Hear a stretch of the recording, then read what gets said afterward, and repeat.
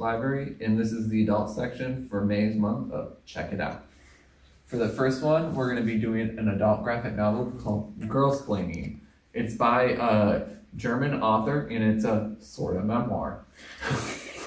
and it's about her going through puberty and all the changes that women have to go through in life.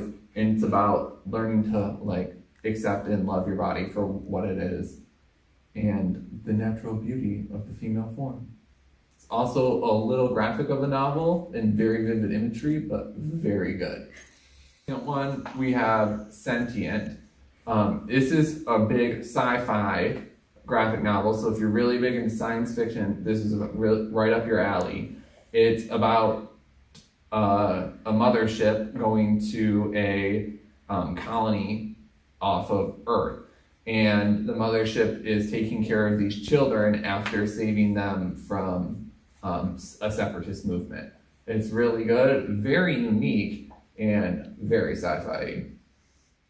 For the adult fiction, the first book we have is The Women of Copper Country. It's uh, picked this year for Michigan Reads, and it's about uh, a strike that took place in 1913 about the copper mines in Calumet, Michigan, up in the UP and everything that happened. And it's actually very sad and quite tragic, but a good book to read.